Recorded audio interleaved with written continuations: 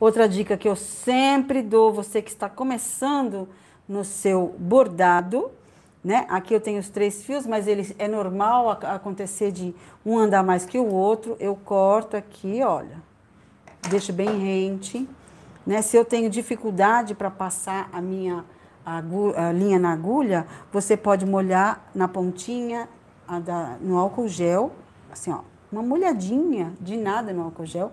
Esse aqui eu uso somente aqui no meu ateliê para isso, ok? Aqui eu estou cercada de álcool, álcool líquido, álcool gel, álcool em tudo quanto é lugar. Ó, eu junto aqui no meu dedinho, pego a minha agulha aqui, ó, e passo aqui, ó, facilmente. Tá vendo como é fácil? É uma agulha número 7, ela é maiorzinha, né, o, o olhinho dela. Então, passa facilmente três fios da linha Moliné, né? A linha Moliné, normalmente eu uso, quando uso dois fios, a número 9 e a número 8. Então, agulhas de costura.